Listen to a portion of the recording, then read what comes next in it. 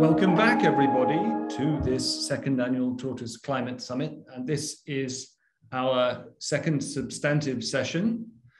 The question that we uh, are addressing is can farmers fix the climate crisis?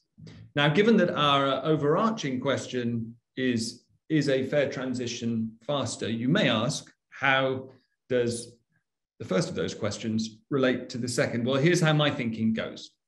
Um, farming, agriculture contributes a very large share of carbon emissions. We just saw in the slides that UK farms account for 12% of UK emissions. Globally, this, the agricultural sector is responsible for a good deal more than that.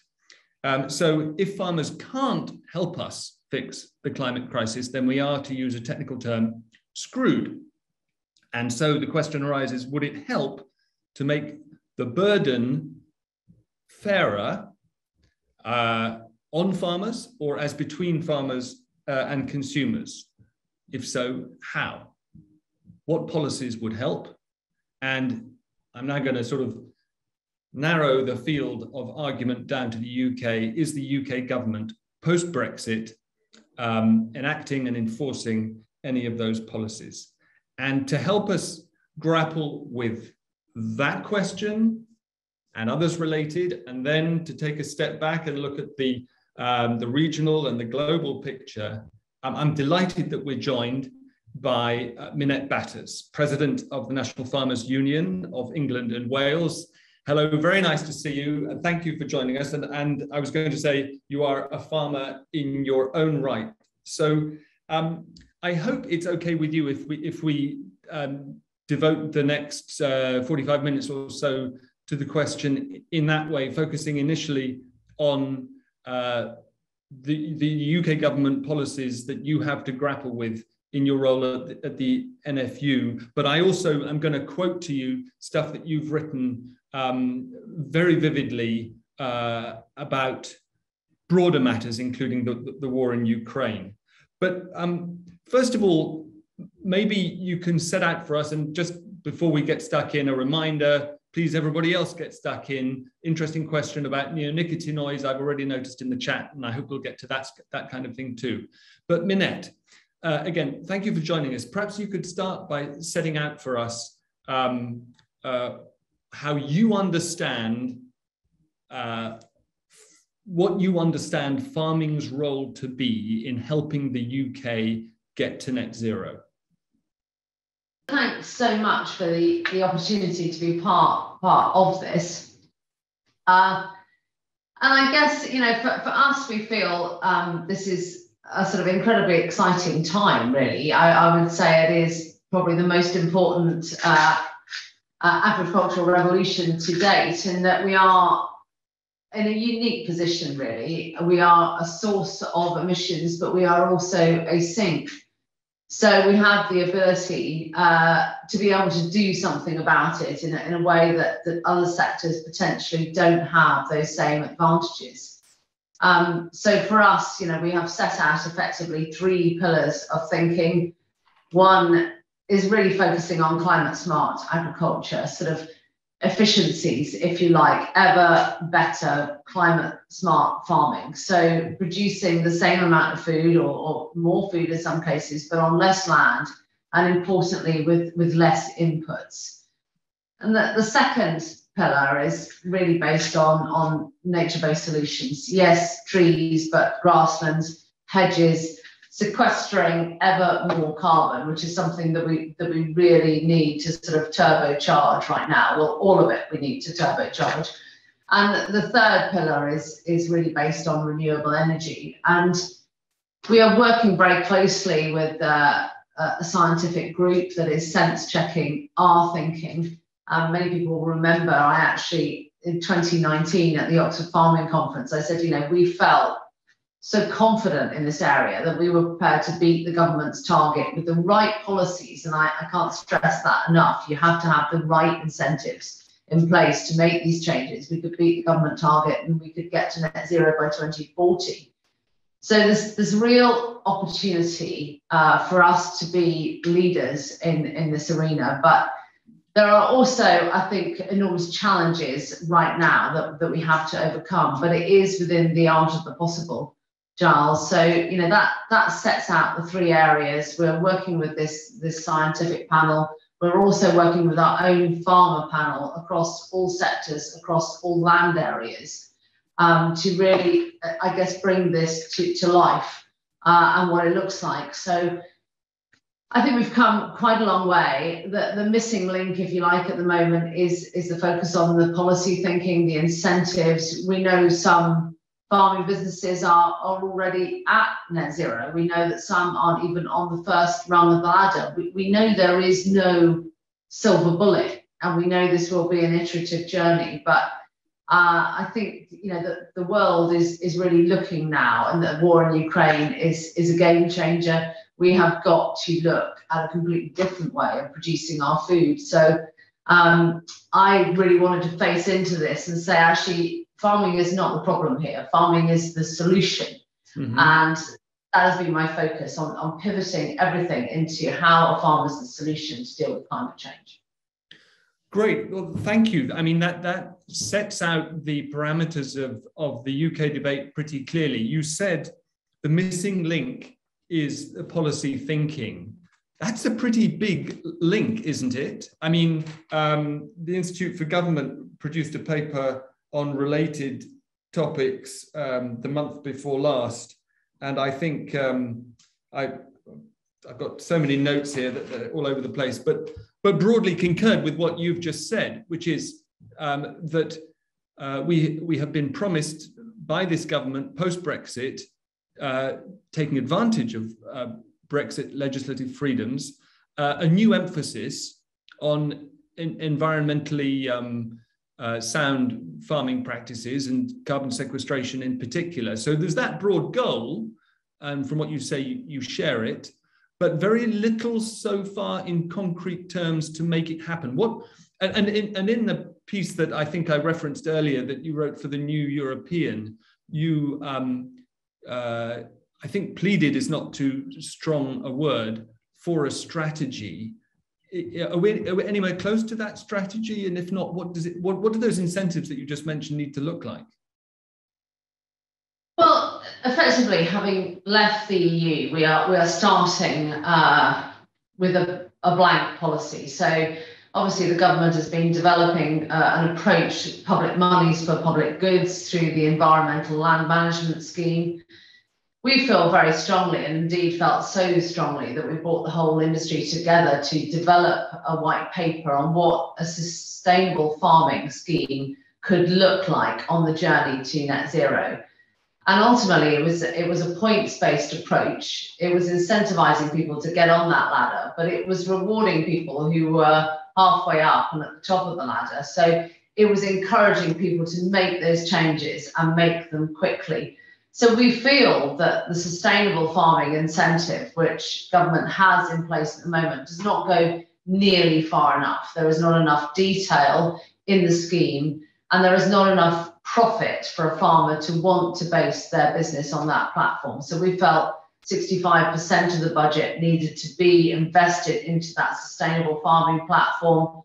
And, you know, we, we really needed, I guess, to sort of revolutionize uh, across England. And, and when I say England, I think it's very important that we join up UK wide here. Um, climate change does not have, as we all know, any borders. So to start off with, in the very first instance, we, we need to agree uh, on, on, on a measurement tool, effectively, a soil analysis tool, not just for carbon, but you know there is there is no greater investment a farmer can make than, than in their soils. So we need that agreement, and that is still not even that is agreed yet. Uh, and then we need to really look at a detailed scheme that will deliver primarily through the policy on what I said about climate smart agriculture. Now, that is different sector by sector, it's different land area by land area. We have a lot of upland farming. Two thirds of the UK is less favoured area, so we grow a lot of grass but we also have areas of the country um, which are very good for cropping. Of course, we don't grow enough fruit and veg here.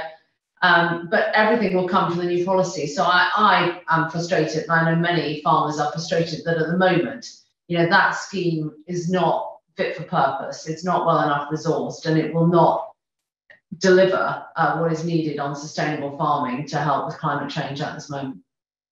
What do you think is the reason for the holdup? I think it's very simple, actually. We called for a delay uh, in capping of BPS in order to develop. Sorry, um, for a delay in what? Uh, to, the government in England has, the UK government has committed to capping what was before, so the basic payment scheme, in order to establish a new scheme. Now, our concerns were Uh, the ability to deliver a new scheme. So we said, actually, we've got to get this right. We've got one chance.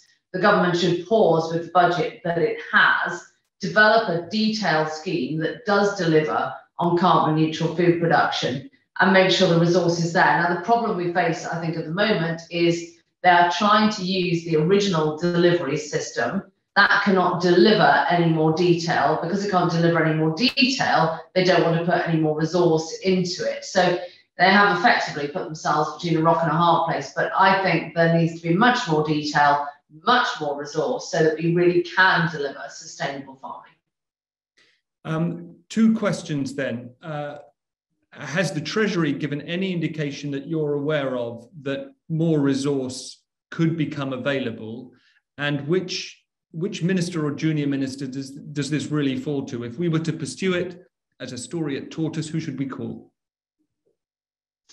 Well, I think uh, you know it, it, it should go across really every every government department. I mean, you know, over seventy percent of the UK is is a farmed landscape, and so it does predominantly sit within DEFRA. Of course, Treasury holds the purse string, so that is incredibly important. But I think, you know, my nervousness has always been this has to work. You know, if it's public investment, it cannot afford to fail. And the investment at the moment is primarily going into what are called agri environment schemes. That is effectively about taking land out of production. So, hedges, other important aspects, um, but it is not focused on effectively what is in the field. And of course, you know, you have to look at our infrastructure as well. I would say there is no point in a dairy farmer being able to pull down money to plant a new coppice if they have failing slurry storage. They should be dealing with the slurry storage first and then having the ability to plant a coppice or whatever those public goods might be. But we should be dealing with our infrastructure, making sure that that is fit uh, for the, the carbon neutral road that we are on in food production sorry, can you just explain the slurry storage bit? Because as, as, a non-specialist, I'm not clear why that is. That's obviously clearly a problem for some people. Why is that? Well, so dairy businesses, livestock businesses, you obviously have to collect uh, the slurry, the muck from those cows in order to, to stop pollution. That is then stored, that is then spread, and potentially actually needs to be spread onto much more uh, arable land to build the soil health. In some cases, you know, that is not fit for the modern world. We've also got the issues with water companies, with septic tanks. So, you know, we really have to take pollution very seriously now. And this should be a big part of the new policy thinking as well. Uh, you know, the journey to net zero, dealing with these, these legislated targets like clean air that the government has in place, clean water, you know, clean air, we are going to be able to need to cover our organic manures. You get into all sorts of challenges with planning permission then. So this is where the join up and what I talk about every department having a role and, and not least the Department of Health, you know, our diets, we know that our diet here in the UK is not what it should be, the pressure that puts on the NHS. So focusing on what we eat, on how we grow it, focusing on the nutrient density, all of these things are critically important. So I would say it goes across every single department. Right, thank you. Uh, in a second, I'd like, if possible, to come to Katie White um, from the WWF, who's um, commenting on replace, replacement for CAP in, in the chat. But first, I just wanted to come back to what you were saying. In the absence of a sufficiently detailed uh, set of policies, uh, and you mentioned um, uh, agri-environment schemes. Is, is, that, is, that is, what, is that what is happening by default? And does it include the um, fields covered in solar panels that you see from trains? Give us an idea of what sort of um, scale it's happening on. Well, I think one of the, the challenges we face is the government has set targets on introduction of species, it's set targets on taking land out of production, it's set targets for nature, for biodiversity, and these are all critically important areas, but they are legislative targets. It has then set targets for house building. It has set targets for green energy it has no targets for food production. And at the moment, food production is being left out. And we mm-hmm. feel that food production and the environment must be treated as one and the same thing. You separate them at your peril. So, you know, you have to be focused on, on food production being part of this. At the moment, it's left out. So you, you are seeing ever greater competing uh, focus effectively on, on land use. Um, we're still building houses on grade one land. We're still putting solar farms on grade one land. We should be putting many more uh, of our solar onto roofs. We should be putting in individual turbines so that farms can be ever more uh, self-reliant effectively and, and, and that isn't happening so that's why the join up is so essential but the biggest problem at the moment is that food security is not being taken seriously and food production is not featuring in these land use strategies. Right. Well, in a second, I'd like to come back to exactly that and the extent to which the crisis in Ukraine is exacerbating all, all those issues. But first, if we can come to Katie, um, can you say a bit more about this? This may be uh, exactly what Minette was just talking about the, the kind of um, uh, the, the subsidies that you're talking about when you say we should be subsidizing positive outcomes which align with policy? Yeah, of course. And just to start off to say that um, we work with um, the NFU and with Minette, and Minette's been great at putting this on the agenda. Particularly, I totally agree with Minette on the sort of comprehensive need for a cross-government strategy on this. It is complex. We need Treasury involved. We know big opportunity missed in the Queen's speech with um, the levelling up agenda. You know, that really needs to be looked at in that comprehensive sense. I totally agree, and we've worked really closely together with Minette on uh, on trade as well um, which is another area that should be included. I guess we were disappointed with the NFU calling for a pause on these, you know, the shifted agricultural subsidies. We know that this is, you know, an area we do need to make decarbonize as well as make sure boosting biodiversity. Michael Gove announced it in 2018. We can all agree it should be going faster in the details, but in terms of the estimates are, it'll have a, if we do pause it, the expected six megatons of carbon that we were going to save will decrease by 50%. That obviously, you know, forgetting the half life in the atmosphere, but in terms of, you know, what's the plan in terms of, do you know, do you think, Minette, that we can double up, go up when we come back on? What's your plan? Or is it is that somebody else's challenge to fix? Or can the farming community step up to make up that gap that you're proposing in environmental terms? Minette, um, okay. Katie, hi there. Um, look, it, uh, it was with a heavy heart, I have to say, that we called for a delay. And the delay is because the detail is simply not there. You know, the incentives to create those changes that are needed is not there. Now, their line will be that they can't deliver any more details. So, you know, our request is that we do not have time to wait. We have to develop the detail and we have to put the resource behind it to to help incentivize farmers to make those changes. Um, so it wasn't just wanting to hang on to what was there in the past. It was about saying, you know, we can't just start this journey without the detail there. And just focusing on, on agri-environment effectively is not going to make the changes in agriculture that, that are needed to create sustainable farming systems. So for us, it's about getting that detail in place. It's about policy incentivization and investment. Know, there are many things that the market is simply not going to, to pay for. And we really do need to focus, I would say, the policy thinking on uh, carbon neutral food production if we are going to get there uh, by our target of 2040 and the government's target of 2050. And I, there is no detail in the policy at the moment on net zero for agriculture. So, uh, uh, Katie, was there something you wanted to say in response to that? Oh, here we go. There you go. I can unmute. Sorry, um, I like your control of mute. But and I mean, I get it's a thing, isn't it? Though, but in a sense of if we wait for everything to be in line, I get uh, look. Of course, we would all prefer to be in a better position to be starting, but there is ways of starting and gather and using that as gathering some of the information. I think it's just you know it, we it kicks the can further down the road for two years you know what's what's we as i say we were announced in 2018 it's four years later. Um you know obviously we would have liked to have started i mean they haven't announced a delay they haven't agreed to that at the moment but in terms of you know that's not something that we'd want the government to do. Uh, thanks. Yeah.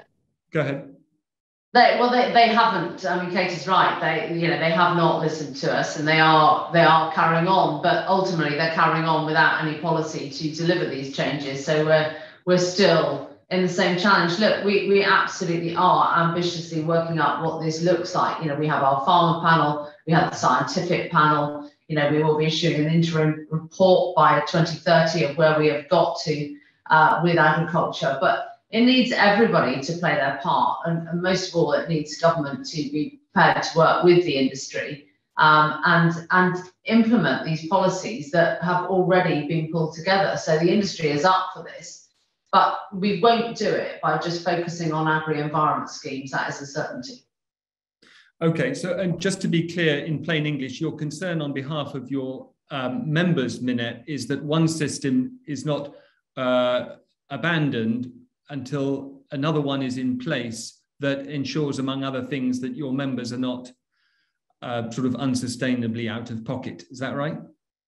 Well, no, that, that change has started. So don't forget, this is England only. Uh, mm. Wales and Scotland and Northern Ireland have said they want to stick with the status quo uh, until 2024 at the very earliest. So England has started on this journey. The capping is in place uh, and the changes are happening. Now, you know, there are many farmers that are not in agri-environment schemes. Um, it is it is one part of it. We've been working with agri-environment schemes. We actually sort of led the way in the European Union on agri-environment schemes, but that's one part. We've got to be focusing on the sustainable farming and the incentives that are needed. Don't forget this rather tortuous road. You know, soils were not even going to be included. So at least soils are going to be included now.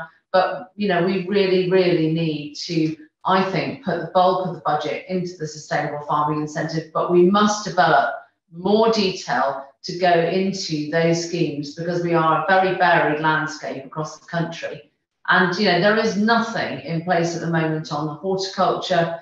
There is very little way of managing our risk and volatility uh, on the world market, which we're obviously on now. You see the situation with pigs, the ongoing situation in Ukraine the skyrocketing costs. There is there is not time, uh, and we cannot afford to continue without a meaningful policy. Right, and you've spoken of the overwhelming uh, or, or, the uh, urgent need for more resource behind whatever detail eventually emerges. Let's talk for a moment uh, about Ukraine, which is ex exacerbating inflationary pressures because of food shortages. It can't get out of Ukraine to feed 400 million people because of the skyrocketing price of fertilizer because it's such an energy intensive process. And you boiled it all down in the piece you wrote for the New European. The current conundrum is this who should pay for these unprecedented inflationary costs? like fertilizer, fuel, gas, power, cardboard, and plastic, to name but a few. How many consumers can afford to pay five pounds for a pack of six tomatoes or 80p for a pear? Now, um, question Is this the time for a windfall tax on those making most money out of this crisis in order to help consumers pay precisely those prices? Well, I mean, the government has said no, no, no, no, no to a windfall tax, and I notice now they are saying that that they are looking at it. I, I think there are interventions that will need to be made um, for for two reasons, really. Um, and the World Bank sort of summed it up uh, about ten days ago when they said, you know, others across the world are going to have to up production if we are going to fill the gap that will be left by Ukraine, which feeds over 400 million people, and Russia, who is being very selective about who it wants to feed going forwards.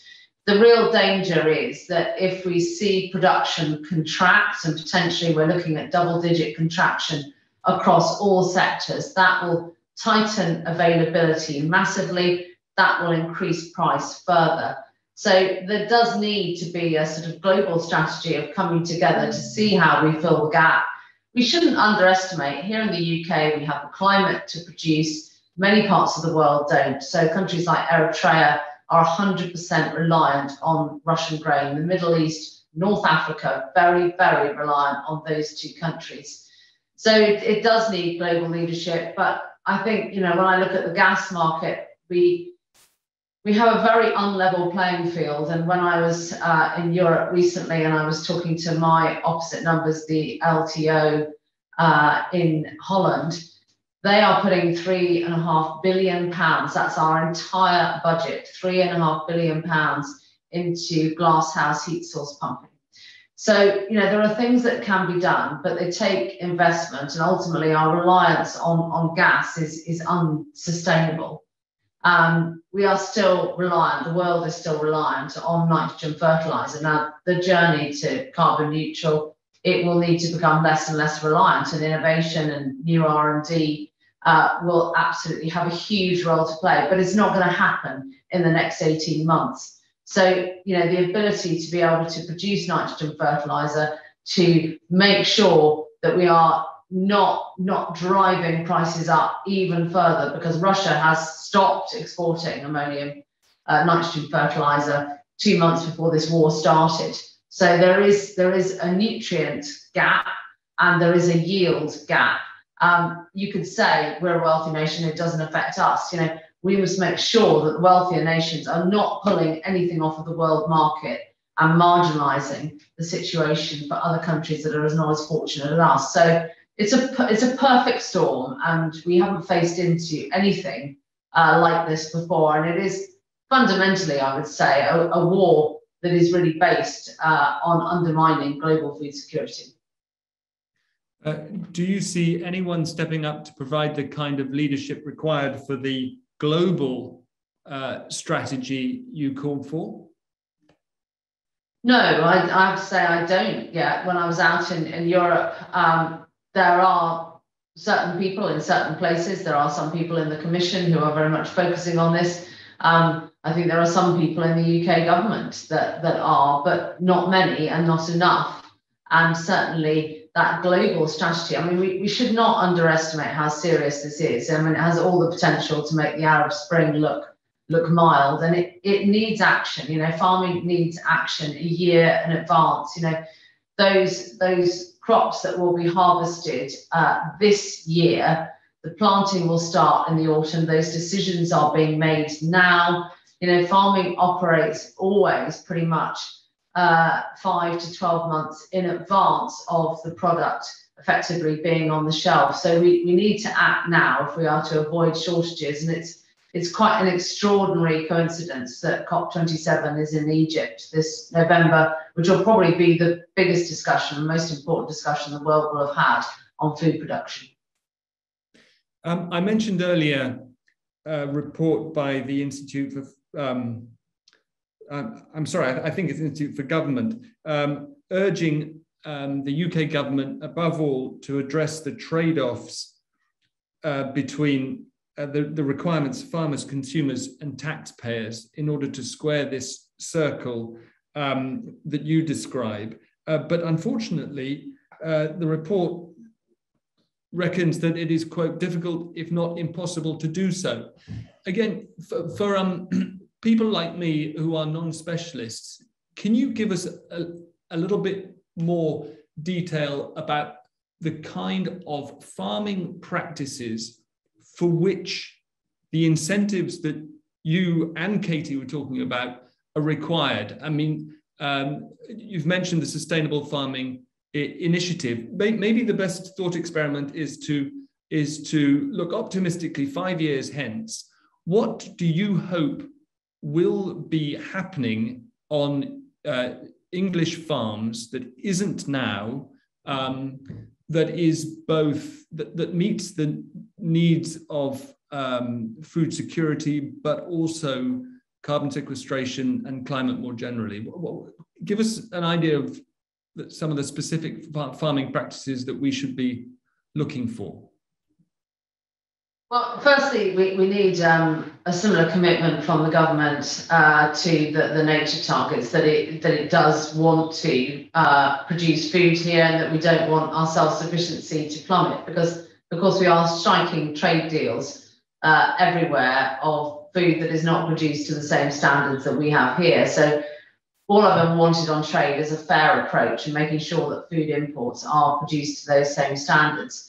But we do have a chance for, for real leadership. And many people uh, on, on this uh, platform today will be well aware of the chlorinated chicken, hormone treated beef argument.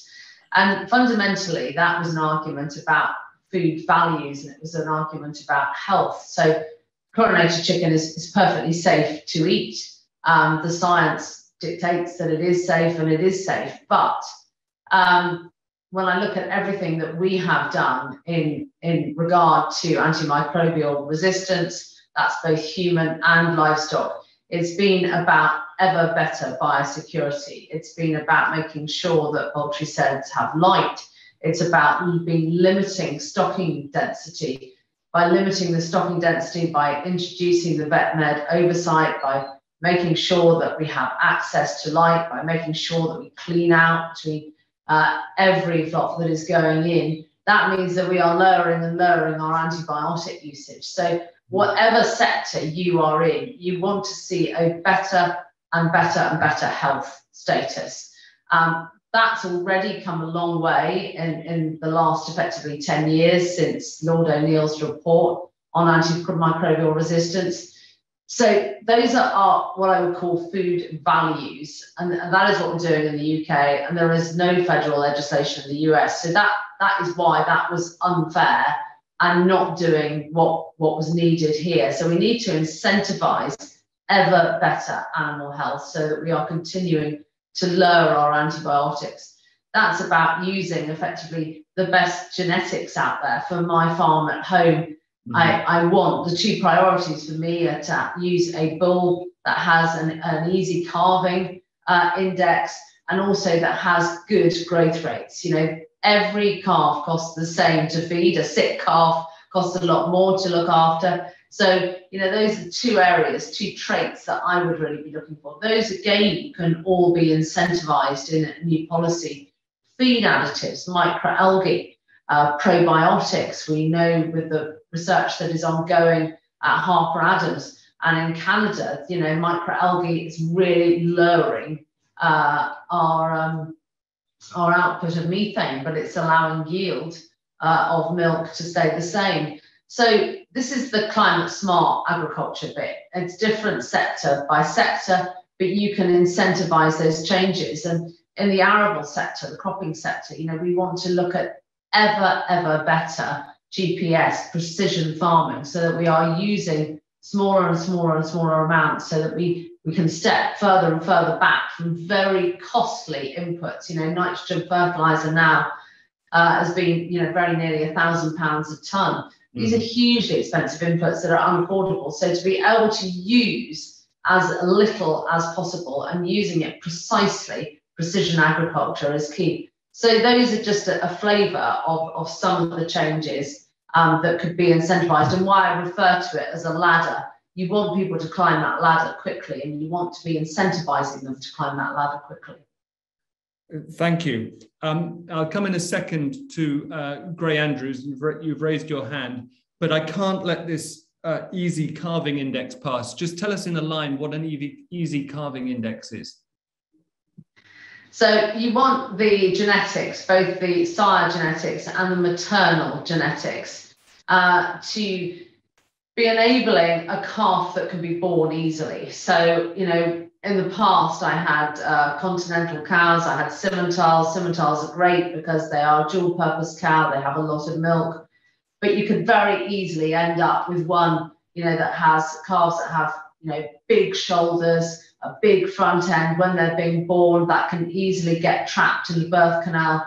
You want a small calf effectively that can be born easily. We calve outside because it's much healthier, it's much better for both the mother and the calf. So I need them to calve unaided. There is nothing worse for me than having to pull a calf out. You want them to calve naturally. As soon as they're born, you want them to be up and able to drink. And then you want them to grow fast because, you know, we don't want to see, as a, as a beef producer myself, you know, I want to be able to, we sell everything as stores, which means that that's not going into the finished trade. A finisher is buying it. But, you know, I'm producing uh, beef that we can produce off of grass you know, we're not using any grains. I want it to be as efficient and economic as possible. I've really been focusing on that, you know, with these trade deals, thinking, you know, we, we've got to be as good as we can be. Um, so that's the, the calving index uh, for you. That's why that is so important. If you have a calf that gets stuck, calf can very easily die. Cow only has one calf per year. You then got a very, very costly, uh, you know, you, you want that calf to be on the ground Completely fascinating. Um, thank you. And, and, we're going to take that second step back in just a second, but I promised that we'd come to Gray Andrews. Gray. Uh, yeah, hi. Um, I talked to you the other day about, and we were talking about energy, but the similar thing comes in. Apparently, we waste about 30% of our food. So that's 30% of the 76% we're supposed to grow for ourselves, plus 25% we import we don't need. Right. We waste it. We need we need to carry the public with this. It's not just a matter of an industry like farming regulating itself, doing its best to become clean, uh, clean, uh, sorry, clean, mean, and green. It's you need the public to want this. I've worked on a hill farm in this country, growing sheep in Wales, farming sheep in Wales. A friend of mine's farm. Minette can testify to how much of a hard life that is the prices of lamb in this country for Welsh lamb was like people, ordinary people couldn't afford it. So what we did was we shipped in meat from New Zealand. Yeah. That's great for climate. You know, shifted thousands of tons of meat into this country. Uh, we, we, do. We're, we're, not looking after the climate in the, in, in the right way. Um, we, are, we live in a consumer-led society where people uh, are expected to buy more and more and more. What we need to do is use less and less and less uh, grow less, grow what we need. I mean, this is more about human need, human flourishing, rather than do I really need a papaya salad? Do I really need bananas? I mean, looking at a recent program I looked at in the Netherlands where they're growing so much stuff out there under glass and under lights in automatic fashion. I don't see why we couldn't do the same here. Again, this is the energy question. Uh, do we need so much red meat with uh, sort of um, uh, negative aspects, I suppose, apart from eating it? Great, that's a, that's a, really good point. I'm going to inter interrupt you there because we're running out of time and I want to put that, amongst other things, to Minette. I'm sorry to interrupt, but um, Gray, uh, Minette uh, mentioned there uh, waste, but also uh, meat eating. You raise on your own farm uh, livestock for meat. We saw on one of the slides the extraordinary statistic to me that um, that accounts for 85% of, of farming land in uh, England and Wales uh, and, and about a third of calories, whereas and the remaining 15% uh, account for the, the remaining um, uh, calories that, that, that, are produced here. And we were talk, talking with Jeevan about this earlier. Um, in many cases, if not your own, um, a lot of the animal feed comes from uh, places like Brazil with a very high cost in deforestation. Is it fair, returning to fairness, on the planet for um, the farming sector in the UK to continue to favor livestock rearing as it does? Or do we have to move big picture to a much more vegetable based farming sector? vegetable and grain.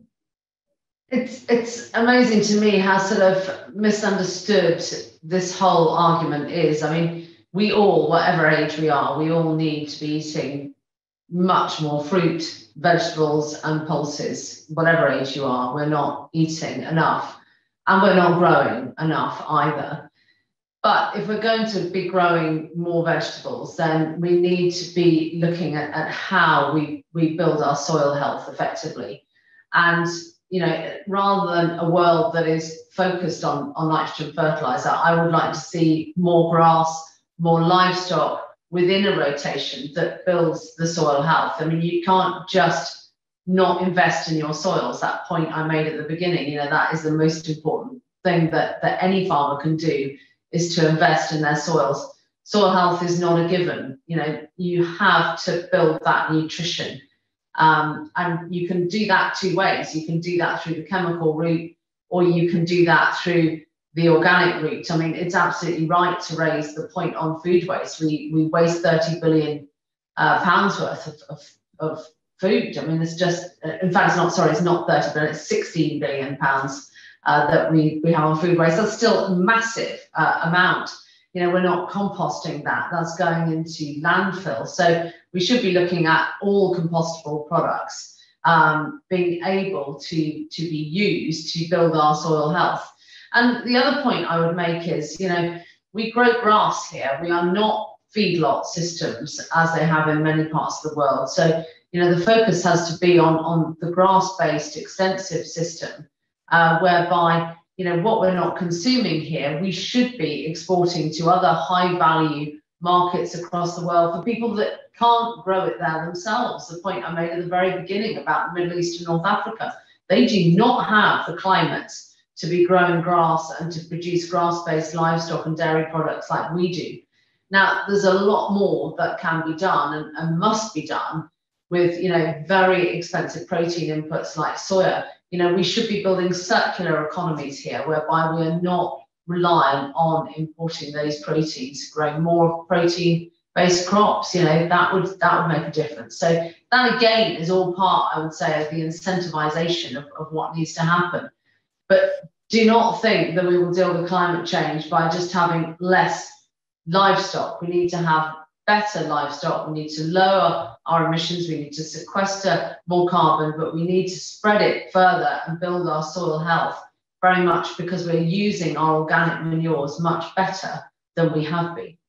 Right. Well, I hear you on building soil soil health. Does that increase the unit cost of the food grown on it? And if so, and I confess I'm um, filching a a question from a colleague here. What, what is a fair price um, with sustainable farming practices for a chicken? Oh, what is a fair price for anything? I mean, is it right that we can buy all of our veg to feed a family of four at a price that is much less than one latte coffee? I mean, the value, we have devalued our food so much. And now here with the most affordable food, you know, in the whole of Europe, which is a huge success story for consumers. But A, we waste a lot of it. We've got to focus on affordable food, but we've also got to focus on a fair return for everybody in that supply chain. And you've got a situation at the moment with farmers where, you know, poultry, pigs, protected crop sector, tomatoes, cucumbers, aubergines, all of those, um, you know, potentially being produced below the cost of production. So what do people do? Well, they have to contract their businesses. All uh, the hatcheries out there are telling me that actually the hatcheries for our current poultry sector, you know, that they are putting down uh, less because, you know, the, the cost of producing eggs at the moment is so enormous. The cost of producing poultry meat is so enormous that, you know, farmers are contracting their businesses. So this is this is a very difficult thing to resolve. And really, the only way you can resolve it is by intervening in that market and, and making that market work so that food doesn't get too expensive. It won't because the retail price war will keep it down. But you've got to keep farmers producing the same amount. If they contract, then we're, we're in trouble. Minette, last question because we're in our last minute. Do you think the British public is aware of how cheap its food is and um, uh, willing uh, long term to pay a bit more for it? I think it's a story of two halves. I think we have an enormous and growing poverty crisis out there with people that can't afford uh, the cost of living, and that's a real worry as we go into the winter. And then I think we have uh, a demographic that that would be prepared to, to pay more. I, I think the real challenge comes in from my point of view. I want I want everybody, regardless of what income they're on in this country, to have access to high quality British food. And you know, I think that is that is a sort of fundamental right. And and what does that look like? I mean, you know, it's very very easy to say food prices need to rise. That is an impossible conversation to have with the competition law that we have at the moment. You've only got to look back at the fines that have been issued to processors for trying to get the price of food to rise to give more money back to farmers. So we we would have to look at things very very differently. But I think, you know, probably the most important thing to do is to separate these things into social issues uh, and food issues. And we don't have a food strategy. The fundamental thing we need at the moment is a comprehensive food strategy uh, so that we really can make most of what we're best at producing here in the UK. We won't be growing bananas here, but we can grow many things. And in the case of fruit and vegetables, we need to grow many more than we are now. And that's where you need your strategy. And I'm appalled, amazed, shocked that we don't have one. We need one. We haven't had one for 75 years, and then here we are. We're still waiting for the white paper on the back of the Henry Dimbleby food strategy. Thank you so much. It's been completely fascinating. Appalled, amazed, shocked that we don't have a strategy after 75 years at a time of, as you put it, a, a perfect storm in terms of uh, the need for food security and the looming um, prospect of food price inflation. Um, uh, and the public, some of whom are aware of how lucky they are, some in a position to pay more, some in, in absolute food crisis. Um, and of course, we learned about the Easy Calving Index as well, and many other details about climate smart agriculture. Thank you so much again for joining us. And to everybody, it is uh, 3.22. We have eight minutes until, until the, the start of the next session, which is with Jeevan on climate damage, who pays the bill? Join us shortly.